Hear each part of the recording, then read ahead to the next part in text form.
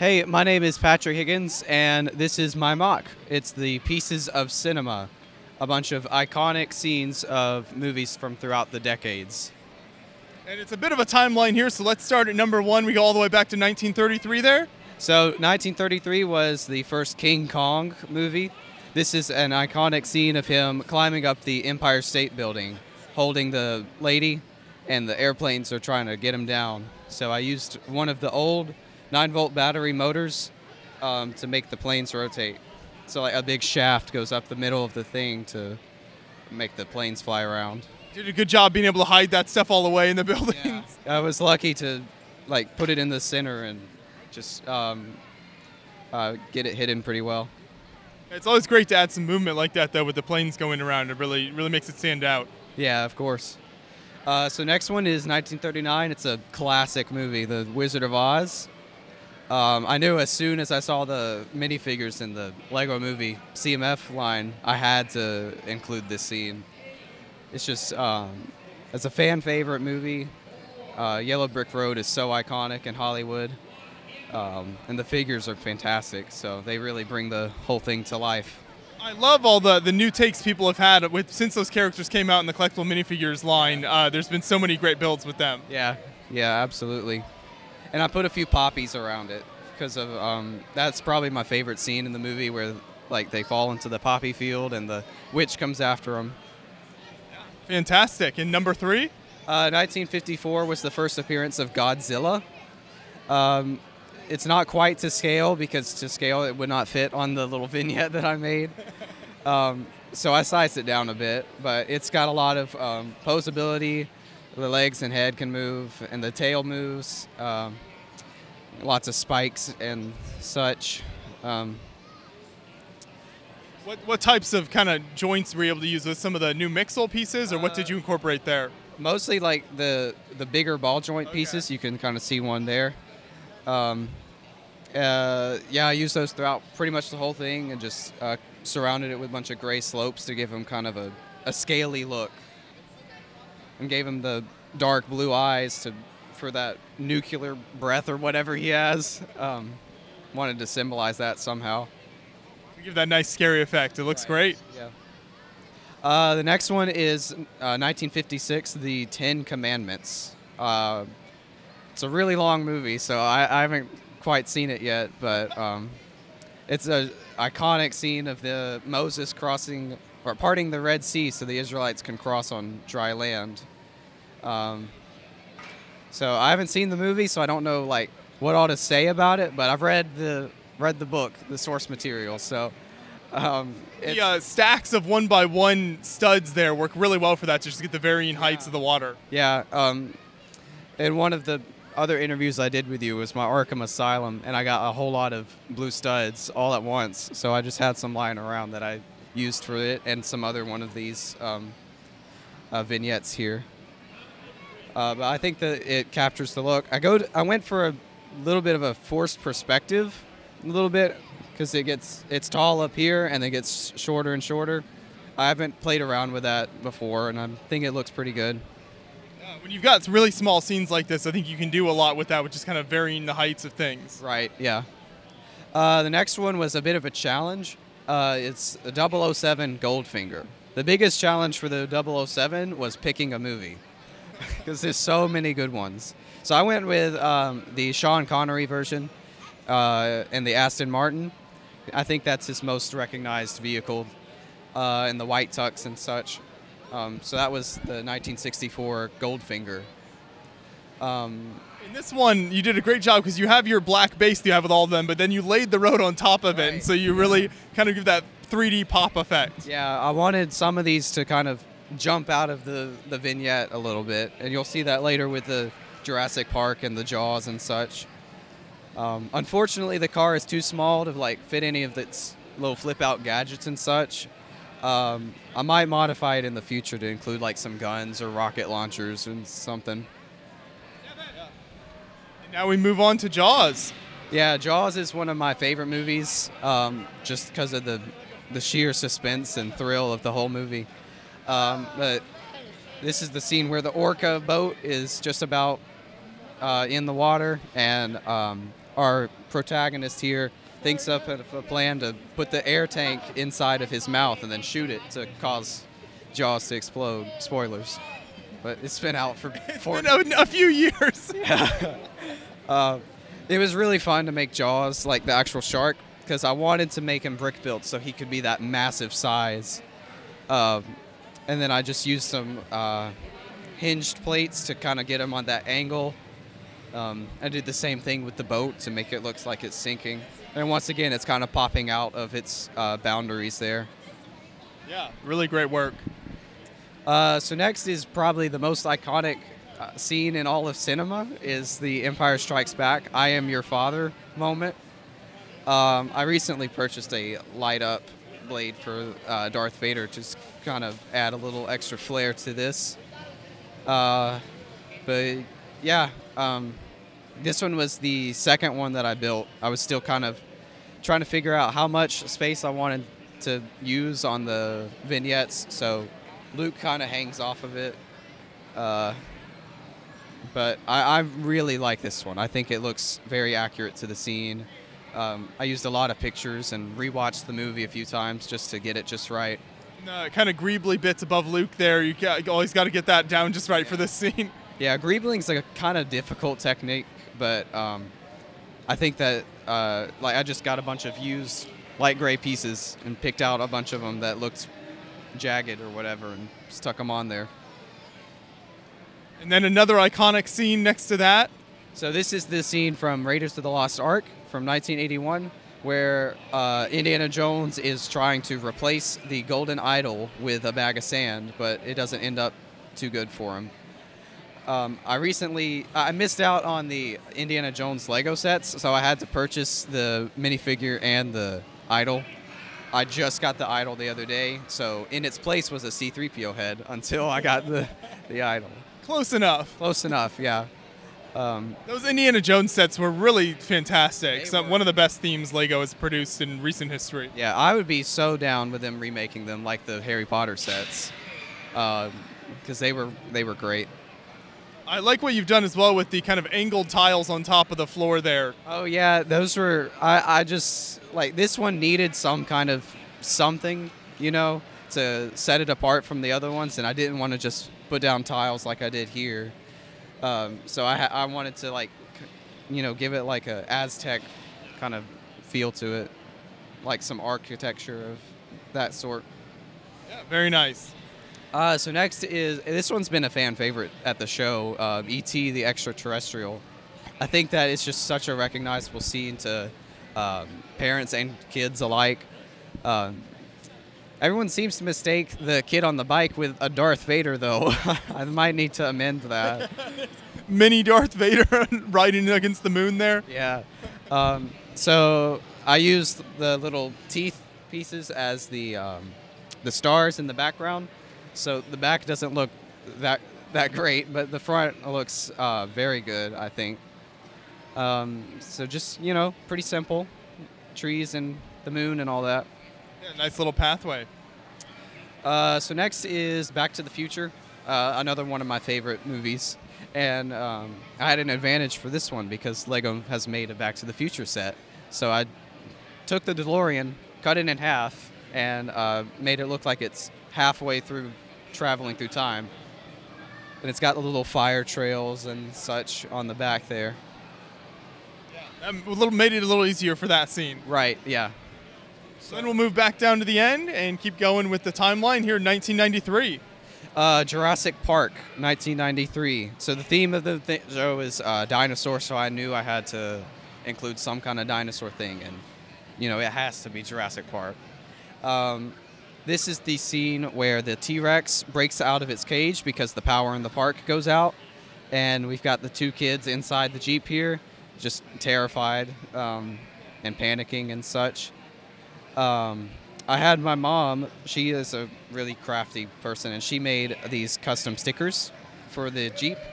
I think that really helps um, uh, capture the look there. Uh, and I did not buy any of the Jurassic Park Lego sets. So my younger brother Caleb, he loves Jurassic Park, and he let me borrow the the T Rex and the two people. So I'm very thankful for that.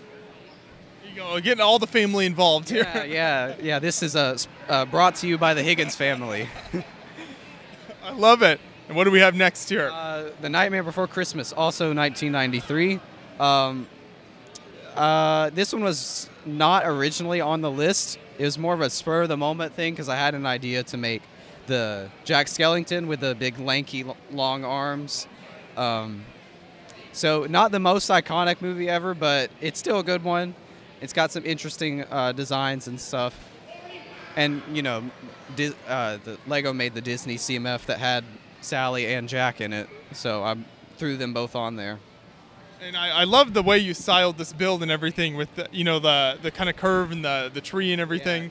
Yeah, I had to make the moon a whole lot bigger so you could see him and the little curve. This is a recreation of the movie poster, um, except for Sally. She's not supposed to be there.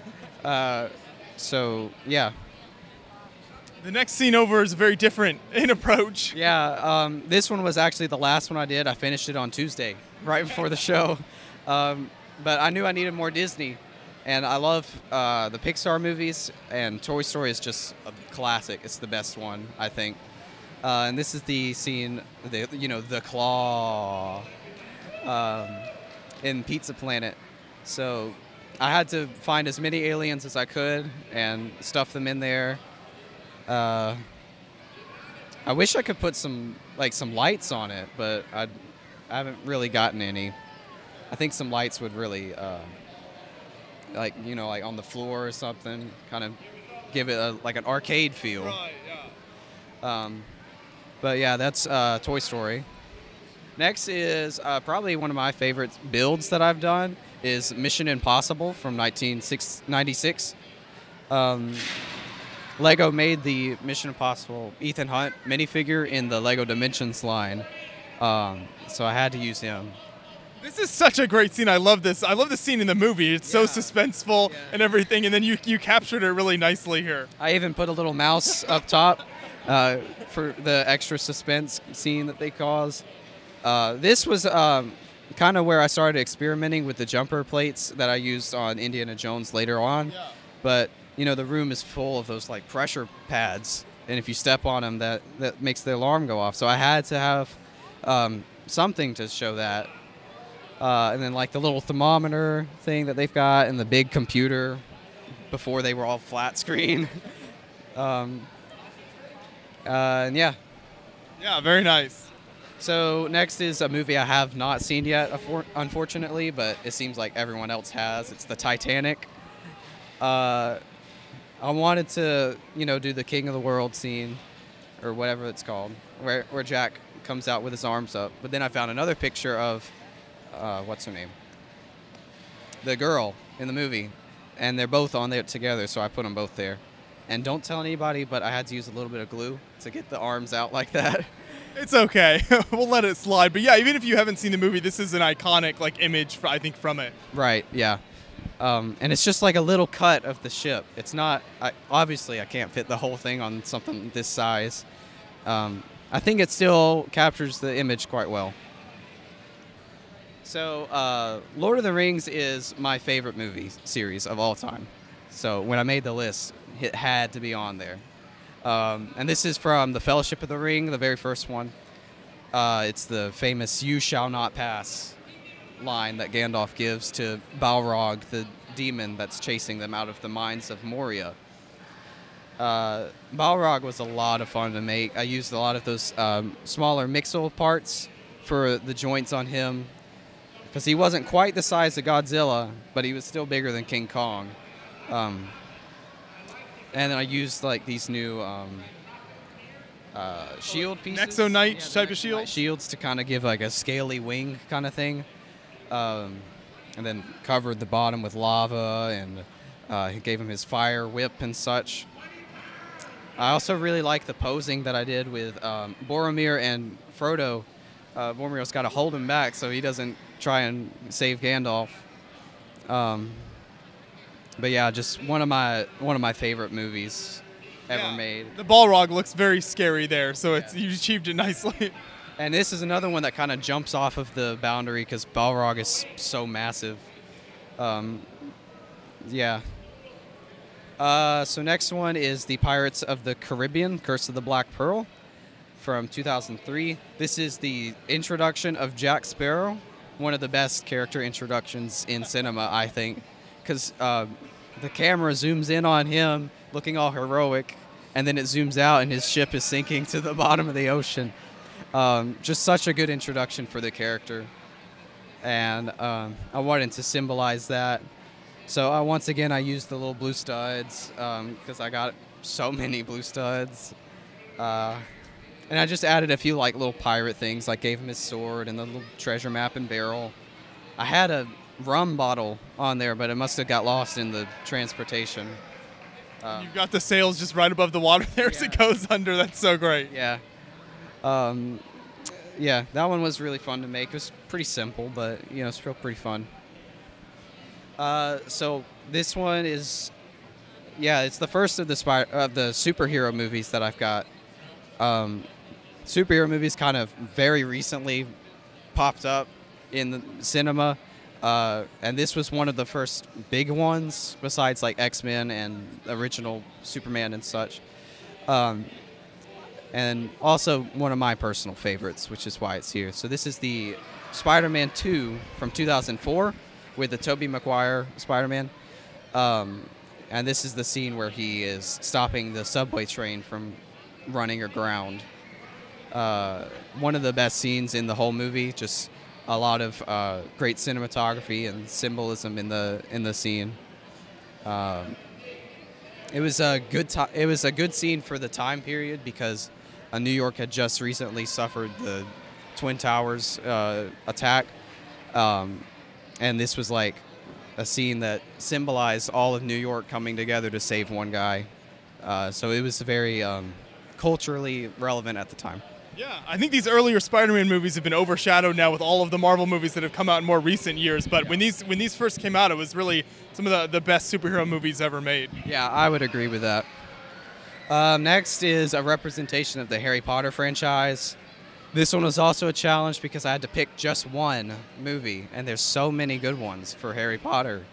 Um, so I just went with the last one, the last, the final fight between Harry and um, Voldemort. Uh, right before Voldemort, spoilers, get, dies. Uh, it's been out a while though, so uh, they're just um, doing their little wizard duel. a couple techniques I used. Um, this flooring here, I didn't press down the tiles all the way for some of them, so it gives it kind of a cobbled look.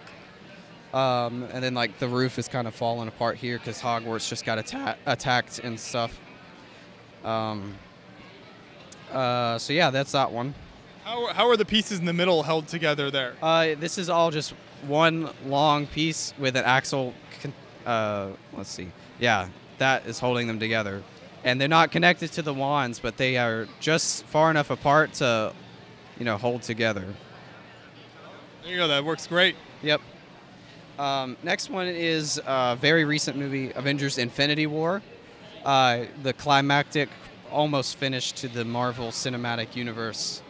Um, there's so many great scenes from Marvel. It was hard to pick just one. They're like what 25 movies now, uh, but like all of them kind of build up to this moment with um, Thanos having the full gauntlet and doing his snap, and Thor almost stops him, and it just barely fails.